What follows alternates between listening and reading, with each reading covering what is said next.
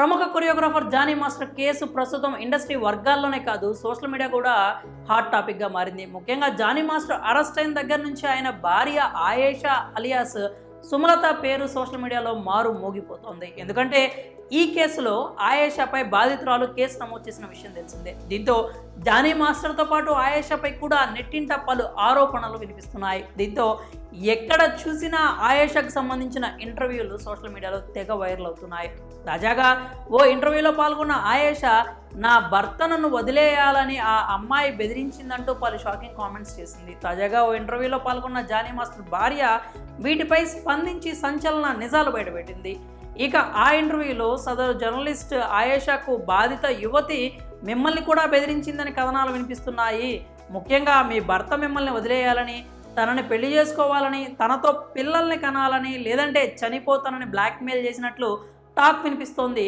ఇందులో ఎంతవరకు నిజముందో చెప్పగలరా అంటూ ప్రశ్నించారు. ఈ ప్రశ్నకు స్పందించిన ఆయేషా మాట్లాడుతూ నా దగ్గర ఈ విషయాలన్నిటికీ పక్కా ఆధారాలు ఉన్నాయి ముఖ్యంగా మాస్టర్ని ఇలా బ్లాక్మెయిల్ చేసిన విషయం ఆ అమ్మాయి తల్లికి కూడా తెలుసు. కానీ ఇలా చేస్తారు అని అనుకోలేదు. కనుక సమయం వచ్చినప్పుడు పక్క ఆధారాలతో సహా అన్నీ బయట పెడతాను అన్నీ రుజువు చేస్తాను అని ఆయేష చెప్పుకొచ్చారు. అంతేకాకుండా మహిళా కొరియోగ్రాఫర్ వ్యవహారంలో జానీ తప్పు ఏమీ లేదు. ఆ అమ్మాయే మొదటి నుంచి జానీ మాస్టర్పై కన్నేసింది.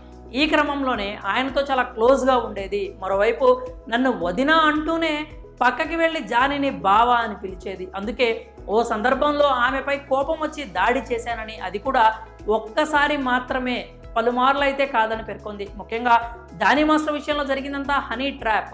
ఈ మొత్తం వ్యవహారంలో ఆ అమ్మాయి తల్లికి కూడా బాగా ఉంది. వీళ్ళంతా లగ్జరీ లైఫ్ కోసం పైకి ఎదగాలనే ఆలోచనతో నా భర్తను వాడుకున్నారు.